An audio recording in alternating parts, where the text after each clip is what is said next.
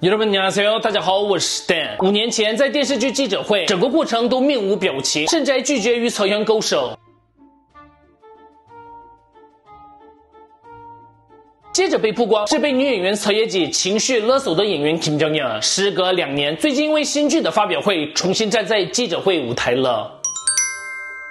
当天，金正恩表示：“谢谢 MBC 能在我反省期间先向我伸手。这期间，我个人发生了很多事情。在开始这个作品的时候，只是担心会不会给大家造成困扰。然后在记者问道：五年前也是参与了 MBC 的戏剧，这次再度回归 MBC 的戏剧，感想怎么样？”金正恩回答：“今天有早到现场到处看了一下，其实因为不太有五年前的记忆，所以觉得很陌生。因为大家的帮助，才能减少了负担。比起十句百句话，我会给大家看更努力的样子。我们来看一下韩国网友们的反应。不记得没关系。”我们都记得，是那么没有演员吗？为什么要用他？真的很想知道为什么要用他。那个时候不给草原面子的事情，到现在也很上火。那个事情后，他没有说根本没有活动啊，还说什么有一直在反省，因为他受罪的受害者还在呢。不要假装是受害者了，影片、照片、证据都还在。虽然对他没有好感，但是又没有犯罪，没有不能付出的理由吧？想看的人看，不想看的人不看就好了。草野姐都能出来，他没有理由不能出来吧？希望你有真心的向草原道歉。对于 Kim Jong Un 记者会的韩网反应，大家觉得怎么样呢？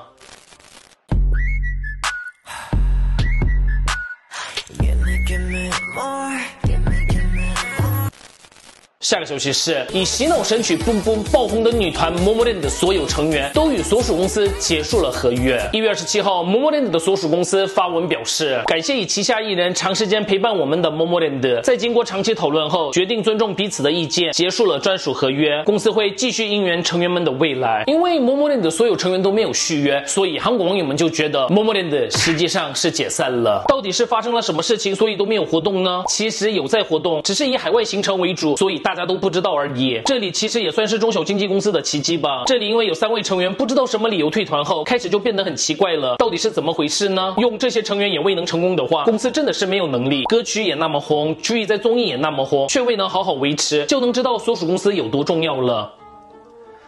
对于 m o m o l a n 的所有成员都结束了合约，大家觉得怎么样呢？